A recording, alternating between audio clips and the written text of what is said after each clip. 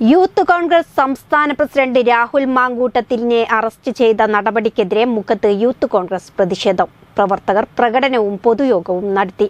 പരിപാടി M T Ashraf ഉദ്ഘാടനം ചെയ്തു.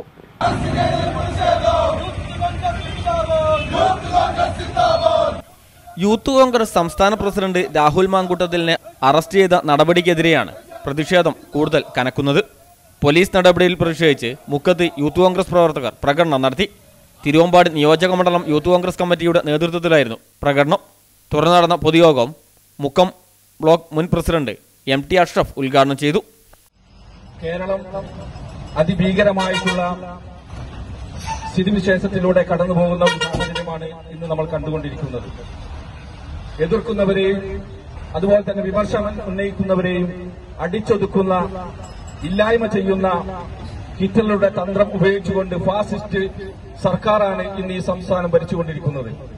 യൂത്ത് കോൺഗ്രസ് നിയോജക മണ്ഡലം പ്രസിഡന്റ് അഡ്വക്കേറ്റ് മുഹമ്മദ് ദിഷാൽ അധ്യക്ഷനായി യൂത്ത് കോൺഗ്രസ് സംസ്ഥാന general secretary advocate Sufiyan Cheruvadi ജില്ലാ secretary V N Shuhaib മുക്കമണ്ഡലം Congress president M Madhu youth Congress നിയോജക മണ്ഡലം വൈസ് പ്രസിഡന്റുമാരായ ഫൈസൽ കണ്ണാമ്പറമ്പിൽ ജിതിൻ പൊറ്റശ്ശേരി കാരശ്ശേരി ഗ്രാമപഞ്ചായത്ത് വൈസ് പ്രസിഡന്റ് ജംഷീദ് ഒളകര തുടങ്ങിയവർ സംസാരിച്ചു. പ്രകടനത്തിന് ജംഷീദ് ചോലയ്ക്കൽ ലെറിൻ റാഹത്ത് ജോർജ് കുട്ടി ജോഷ്വ മുഹമ്മദ് ഉനൈസ് പ്രഭാകരൻ മുക്കം സജീവൻ ചോണാട് സുഭാഷ് മണാശ്ശേരി തുടങ്ങിയവർ നേതൃത്വം നൽകി.